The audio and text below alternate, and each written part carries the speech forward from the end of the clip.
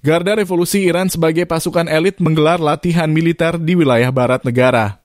Latihan itu digelar seusai mereka bersumpah bakal menyerang Israel setelah kematian pemimpin Hamas, Ismail Haniyeh. Kantor berita pemerintah Iran, IRNA, melaporkan latihan militer berlangsung pada 9 hingga 13 Agustus 2024. Disebutkan latihan ini untuk meningkatkan kesiapan tempur dan kewaspadaan. Kata seorang pejabat. Dikutip Reuters. Minggu 11 Agustus 2024 simulasi perang ini muncul saat Iran bersumpah akan membalas Israel yang dituding sebagai dalang kematian Ismail Haniyeh. Haniyeh tewas di Teheran seusai menghadiri pelantikan Presiden Masoud Pezeshkian pada akhir Juli lalu.